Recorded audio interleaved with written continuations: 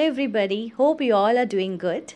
Today we are going to learn some important idioms and phrases that are frequently asked in competitive exams. So without much delay, let's start. Number 1. To play ducks and drakes, meaning to act foolishly or inconsistently. Let us use it in a sentence. He played ducks and drakes with all his father's property and was soon penniless tooth and nail, meaning with one's all power. Sentence He fought tooth and nail to prove his innocence in court. It means that he has fought with all his power to prove his innocence in court. Be on cloud nine, meaning to be very happy. Sentence The mother was on cloud nine to see her son after a long time.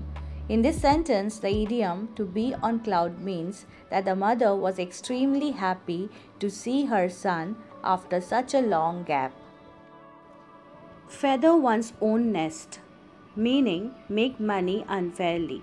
Sentence The officer was dismissed as he tried to feather his own nest by taking bribes. Here, the officer was trying to make money unfairly by taking bribes. Take a rain check, meaning to reschedule at another time. Sentence Rahul said he would take a rain check on visiting us this week as he has to attend an urgent meeting. Apple of the eye, meaning someone very precious or dear. Sentence His only daughter Karen was the apple of his eye, without whom he would not imagine living. White elephant, meaning useless possession. Sentence The new theatre has become an expensive white elephant. Tongue in cheek, meaning meant as amusing and not in a serious manner. Sentence John's tongue in cheek description of his college life amused his friends. Throw in the towel, meaning give up. Sentence They are not going to throw in the towel just because they lost one game.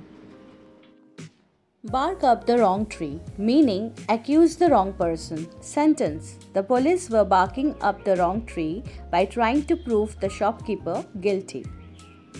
Cock and bull story, meaning a made up story hard to believe. Sentence The politicians are good at telling a cock and bull story by twisting the facts. Bury the hatchet, meaning end the quarrel and make peace. Sentence The two friends buried the hatchet by coming together for the party. A close shave, meaning a narrow escape. Sentence We had a close shave when the car passed so close to us. Bite your tongue, meaning to avoid talking.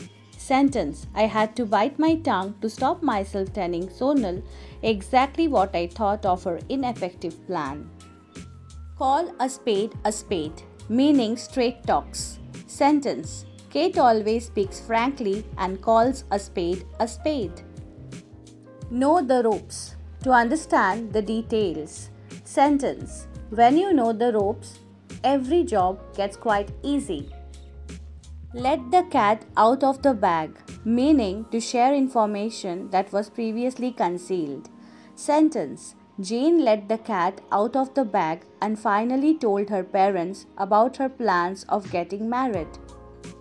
Every cloud has a silver lining, meaning even difficult times will lead to better days. Sentence We are going through a bad period, but just keep in mind that every dark cloud has a silver lining. Burn the midnight oil, meaning to work late into the night. Sentence They have to burn the midnight oil to meet the deadline. At loggerheads, meaning to differ strongly. Sentence The students are at loggerheads with the college over the price of food in the canteen. That's all for today. I hope you found the video useful. If so, please like, share and subscribe. Thank you so much for watching.